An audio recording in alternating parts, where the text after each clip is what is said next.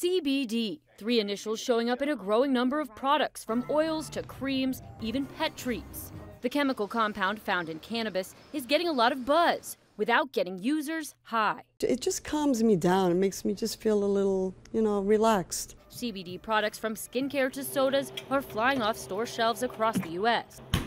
The food and beverage space is one of the biggest sectors of growth, especially at CBD cafes like this one, offering one of their most popular items, CBD infused coffee. The CBD market saw 89% growth in 2018, according to market research firm Brightfield Group. We expect the CBD market to hit $22 billion by 2022, which will exceed the marijuana market. While it's illegal for companies to add CBD to food, drinks, and supplements, the rules have largely gone unenforced. But that could be changing. Tuesday, New York City's health department ordered restaurants to stop serving CBD.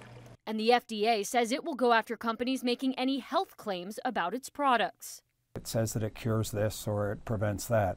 Um, none of those things have been proven.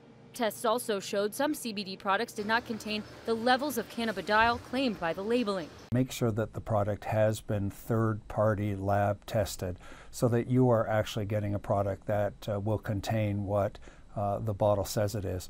CBD continues to grow as regulators and researchers work to catch up. In the meantime, consumers should be cautious. Liz McLaughlin, NBC News.